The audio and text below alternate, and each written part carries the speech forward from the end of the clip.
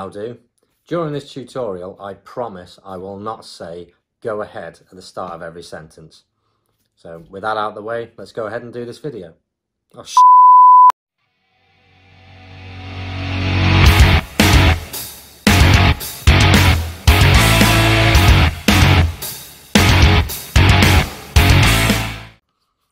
Right, to start with, yeah, you'll need software and hardware. Uh, we'll start with the hardware things you need first. And the first thing is obviously going to be an EEPROM, uh, a writable EEPROM, obviously. Uh, that's the first thing. Uh, the second thing is an EEPROM writer. Uh, this is the TL866II Plus, a very good little piece of kit. And um, you'll also need the TL866 adapter uh, essential for doing these uh, ROMs um, because they've got 42 pins on them uh, and they won't fit into the standard uh, device. Uh, you'll also need PCBs to put your EEPROMs into and I highly recommend uh, this homebrew player which rather than like here I've soldered into the PCB already rather than soldering all the pins in putting it into the Mega Drive, finding out it doesn't work, you can just pop it into here and choose which EEPROM you're using and fire it up on your Mega Drive. Simple as that. Saves you a lot of hassle. Uh, also, cartridges. Uh, I bought these off AliExpress. These are pretty much identical to an original cart, apart from it doesn't have Sega on the back. Uh, a lot of them you'll find just at the bottom here is very thin. Where the label meets the bottom is very thin and uh, it just doesn't look like the originals, but these are identical. Um, I'll try and put a link in to AliExpress so you can get them from there. And lastly is a case. Uh, these are on eBay. They are they look like VHS cases, I suppose. They're clear and they fit multiple carts in N64, SNES, and Mega Drive, might be a few others as well. Um, they don't clip in, but they do the job. They look great. So, let's go to the computer and see how this is done. Right, so the first thing we need to do is to find which ROM you want to use. So, uh, I've got Streets of Rage 3 here, which is quite a large file, uh, 3 megabytes.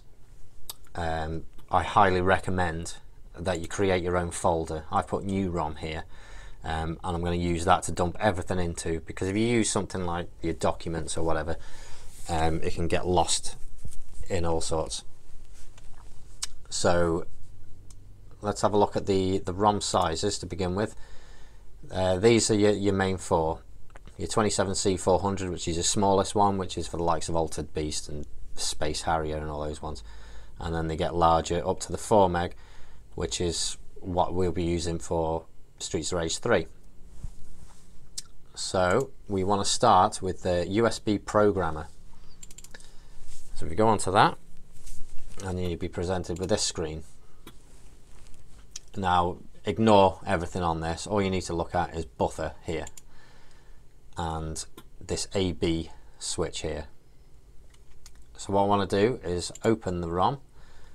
So I need to go back because I put it already made the first mistake there put it in desktop so Streets Rage 3 uh, leave them as they are press OK device has not been selected that's fine don't worry about that and it'll bring it up here. And that'll be the right way around Streets of Rage 3 uh, Bare Knuckle 3 and all we need to do then is go up to the top here and press that byte swap button the A B button. And what that'll do is it'll jumble it all up. So we know that's successful. Then what we want to do is we want to save. And this is where you want to find your folder that you've made. So there's my new ROM folder. Open it in there and I'm going to label that uh, SOR3 save. And that is that bit done. We don't need this any longer so we'll shut that down.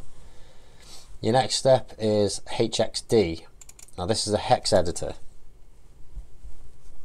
And now for all these large games, uh, you need to open up your Streets Rage 3 folder, which is there. So that's still mixed up. and then we navigate to tools file tools and split. So we press that. So that's uh, where it's going to be taken from and now you need to put it into a folder. So I'm going to put that into the same folder but now you need to rename this different than what you named your ROM a second ago. So I labeled it Streets of Rage 3 as you can see just there. Uh, that was the byte swap version. Now I'm going to put Streets of Rage 3 swapped. And this means you, you know that this is what you're going to be using. Save that. Uh, leave this on custom. Change that one to bytes and type in 524288 and press OK on that.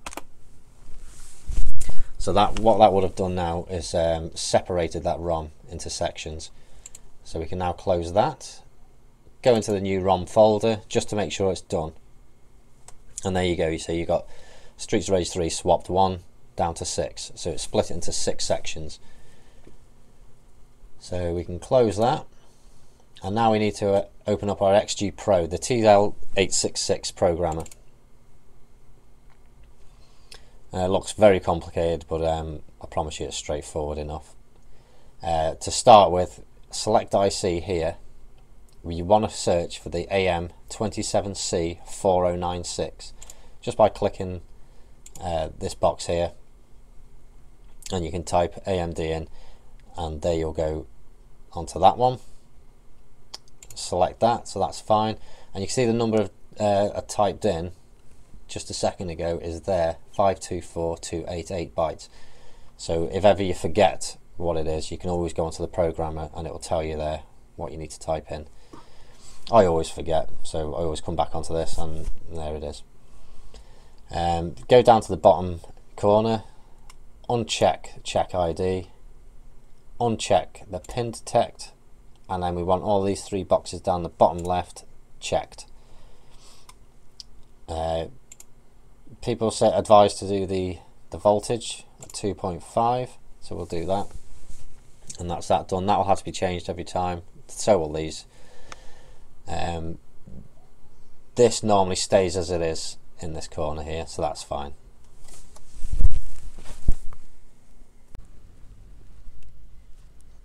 Okay, so when you're ready to write this, um, we click on this one in the corner, the open, and you'll see there you swapped six swapped um, sections. So you want to double click on that one. That's all fine, so just press OK, and then we'll go to program. But first, we need to make sure that you've got the right uh, switch.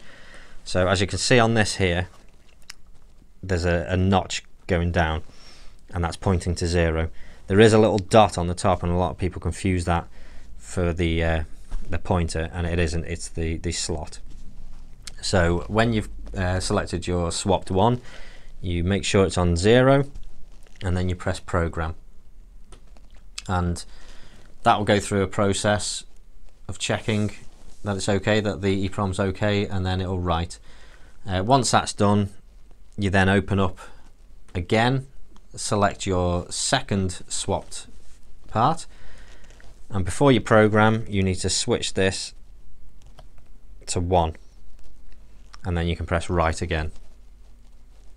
And so on throughout. Open up again select your third one and then move it along to the next number until you've finished every segment.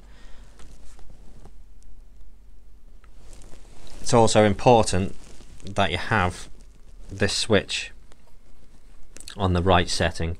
Uh, it can it tells you there. Uh, that'd be your large ROM, which for this instance should be on the top, uh, and all your smaller ones will be down the bottom. And your pins there. Your 400 one is your smallest EEPROM, and then all your large ones just go over that section there into that that part. Uh, hopefully you've written it all successfully. Uh, if it doesn't write, you get an error message. I can just show you that now. Uh, oh no, well the device isn't connected, but um, it will come up with a red thing there anyway.